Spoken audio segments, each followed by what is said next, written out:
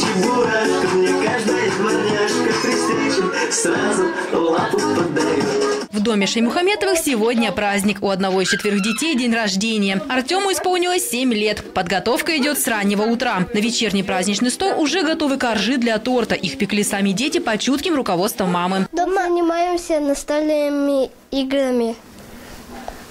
Мы любим машинки играть и в пистолеты.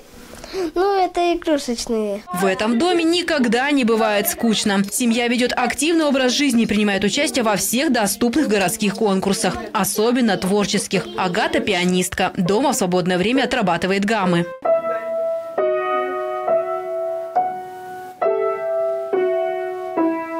После того, как старший брат Артур уехал учиться в другой город, девочка получила статус старшей сестры. Иногда ей приходится непросто. Я думала, это будет сестренка родиться.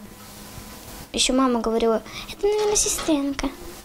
И потом такая фотография показывает, а нет, наверное, братик. Женщина шутит, что с появлением детей у нее развился супергеройский навык многозадачности и новых возможностей. Старшего родила, я пошла учиться на права. Дочь родила, я захотела научиться торты стряпать. Я научилась. Потом Артема родила, и, и я захотела шить. Арсения родила, мы начали петь.